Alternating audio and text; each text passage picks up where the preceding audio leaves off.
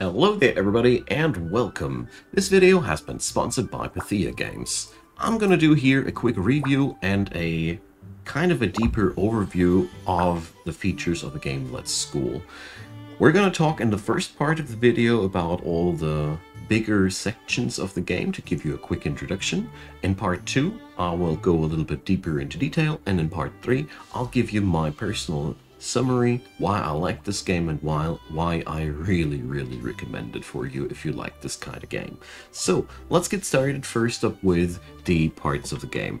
Obviously, since this is a school simulator, we have to teach our students well. You build the classrooms there, you set up their courses, you manage the teachers, and you also manage the communities where the students come from. You gotta make sure that they graduate, so you have to teach them the proper things. Every kind of student from different communities wants to graduate in different uh, aspects, and you gotta wake up your students from time to time. There's little interactions with them as well.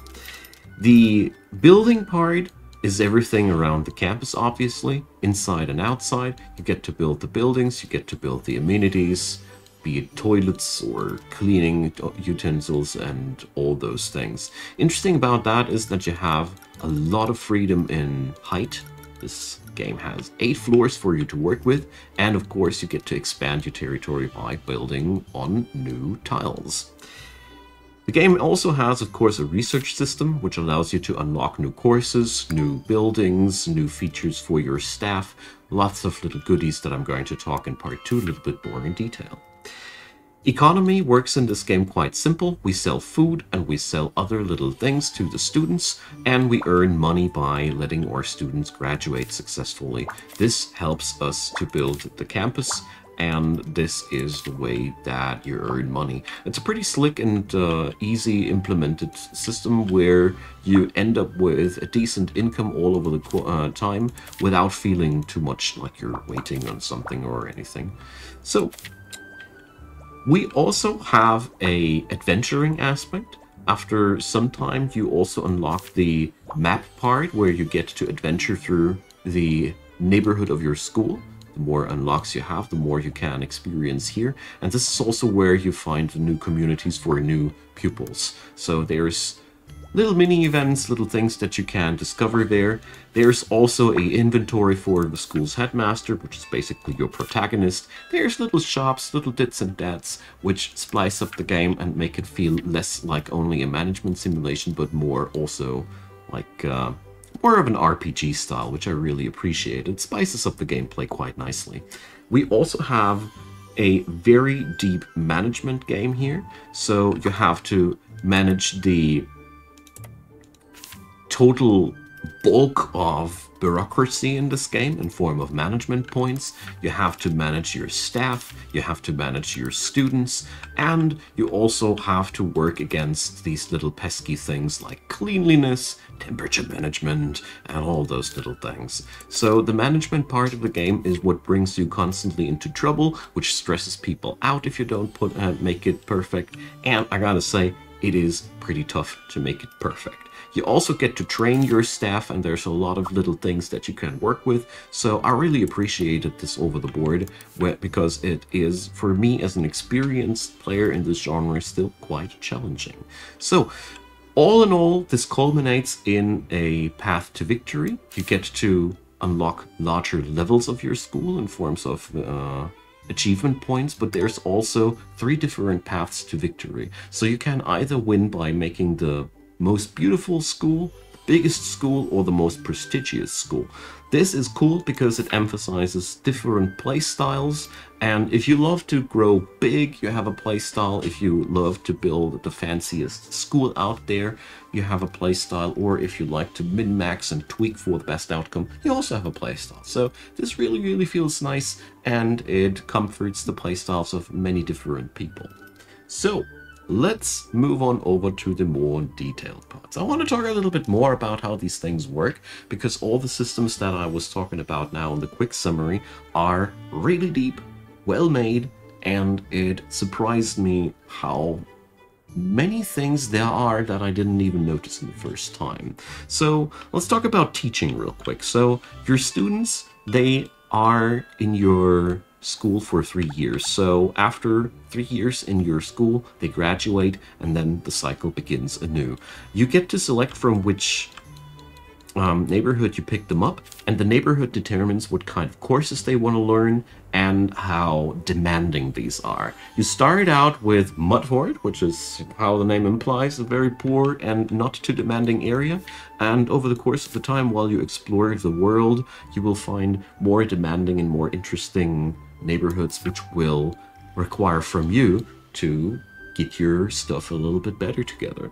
You are also in charge of the courses. You've got to check out that your students pass, that the teachers are well up to the task, that their skills in teaching are good enough, their skills in management are good enough, because guess what? If the class is too large, you have to have nice management skills. It's really realistic in that aspect, and getting your teachers up to the task is a really, really tough job that sounds easy at first, but the sum of the moving parts makes it really challenging, and before you know it, somebody's having a mental breakdown, and you have to pat them on the head and tell them that everything is really going to be okay, and convince them to not be locked in the toilet anymore.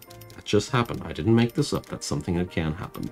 The management part of the game, while we're at it, is about the personnel management, like I said.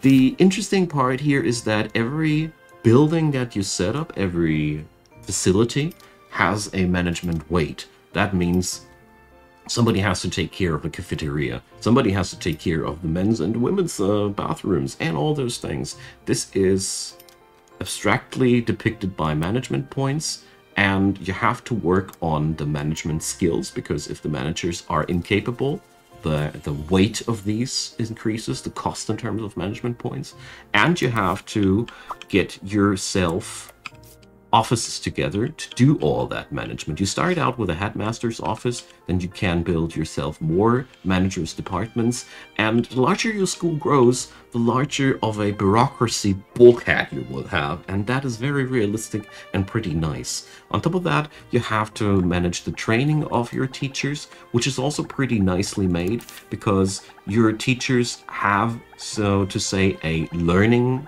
ceiling when you recruit them, they, uh, you know, there's good teachers, bad teachers, and amazing teachers. And uh, their training proficiency basically defines their ceiling, so you will have to work hard to get the best teachers. I really like this so far, and apart from that, you also have to manage your buildings in terms of all the little things that your school wants, be it cleanliness, fire protection, sanitational things, entertainment, washing service. There's a lot of little uh, services that you have to take care for, and it's a little, it's it's another layer of the management minigame. The economy part, like I said, is selling things. The real fun part is that you get to select what kind of things are being sold, and depending on the seasons, some items are better or worse. You get to unlock extra foodstuffs over the course of the technology tree, so there's a, a little bit of a tweaking and um, refining in that regard. Also, the higher the quality of the room in terms of internal furniture, the higher the sales price. So you can really optimize your income that way quite nicely. Or you just do your job as a uh, headmaster of a school well and get paid for all the achievements. Every graduated uh, student gives you a extra reward or every past exam gives you another reward. So all in all, you don't I didn't feel with this game like I had to struggle for my money, but I have to ration my money each season. So the building aspect is really cool. You have to build rooms, like here in forms of facilities. The real nice part here is they can be moved, so the cafeteria that I built here can be moved anywhere, so this is really pressure-free. Every built thing in this game can be moved for free, you don't have to worry about things where you place them down, so I like this a lot about the management aspect. When you're deeper in the game, you also are allowed to just copy rooms, which is also very, very helpful, and due to the fact that you can build amazingly large things, is really, really fun. Also, you get to do a lot of environmental playing. So if you are one of these players who love to go for bigger things, or for building bigger things, this is just the game for you. So, as you might have noticed, there's a bit of a fire here. You have to manage fire as well. so, the research here, while our brave teachers are quenching that fire, the research tree works as follows. You have these three branches, and they unlock new facilities, new things that you can build inside the campus. And as one thing that I really enjoyed, the technologies which unlock new courses also unlock new furnitures for your classrooms and over the course of the time you get to build specialized classrooms and your school grows more and more modern the more things you unlock here the tech tree might look small at the first glance, but the wonderful part about it is every little technology here is quite meaningful and has an impact on the game, and every little little one of these things does mean something. This tech tree isn't bloated with unnecessary things, and before I knew it, I realized that every one of these techs also unlocks a lot of different things, more than you would assume. It's much deeper than it looks at the first glance, and just to give you a little tip here on the on the on the way, don't delay the research of the more advanced courses too long. You will need them. The adventuring part plays mostly here on this map. You get to send your classes on field trips to unlock these areas and while the classes are on field trip, they do their studying quite uh, uh, normal. That's pretty nice. So you have no drawbacks here. And sometimes you will have a mini pop-up about the adventures that they have there. They're really adorably written and I really, really enjoyed myself doing these. And as a reward, you unlock what's inside these areas be it new communities, be it new shops where you can sell things, or other schools that you can interact with as well, because there's also sort of a diplomacy uh, system here. You can't even trade with these schools over the course of the time.